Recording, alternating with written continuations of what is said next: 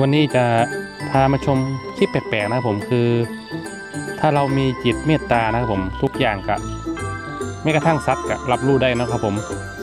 นี่ครับนกตัวนี้สามารถลูบหัวได้เลยครับผมเนาะโดยที่ไม่กลัวเราเลยครับผม เนื่องจากนกตัวนี้เป็นนกจากธรรมชาติ แล้วก็เป็นแบบพิษแปลกจากธรรมชาติทั่วไปนะครับผม ซึ่งปกติแล้วนกจะกลัวคนมากๆเลยครับ นนี้เขาคงรับรู้ได้ว่าอย่างไรผมกะบวชทำลายเพิ่นเนาะเพราะว่าผมกะบรบกวนเบียดเบียนซัดอยู่แล้วนะครับผม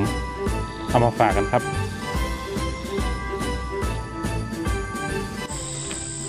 สวัสดีครับท่านผู้ชมวันนี้ก็จะพามาชมนกครับผมนี่ครับ นกจากธรรมชาตินะครับผม ซึ่งนกตัวนี้คุ้นมากๆครับผม แปลกประหลาดมากๆครับผม มาได้ไงเนี่ย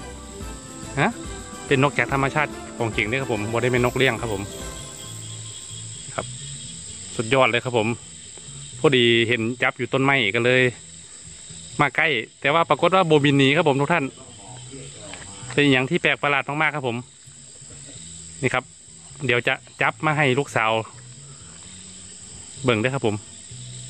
นี่ครับ มาขอจับหน่อยนะ นี่ครับผม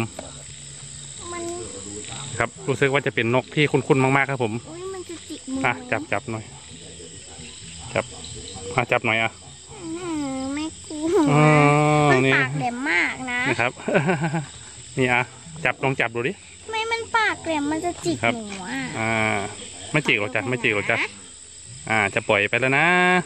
เป็นมิตรตาไม่ได้จะทำร้าย อ่าโอเคครับผม เอาเดี๋ยวจะทำไมไม่ไปล่ะเนี่ย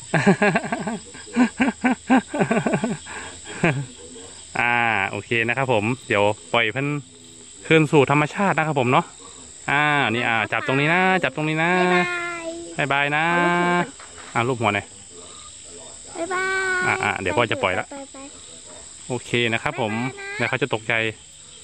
เดี๋ยวเขาจะตกใจนะ โอเคครับผม อ่า ไปแล้ว